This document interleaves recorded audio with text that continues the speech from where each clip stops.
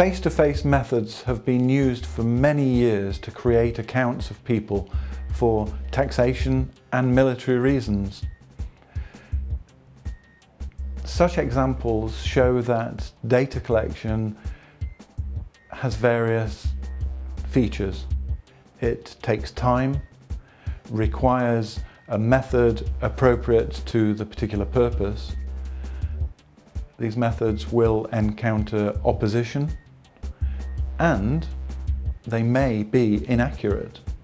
The postal method probably reached acceptance in the 1960s while the telephone became important from the 1970s.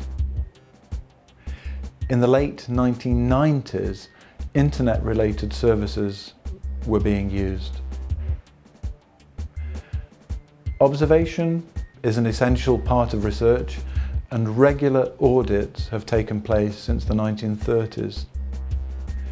This type of observation switched from human counting to mechanical observation as technology advanced.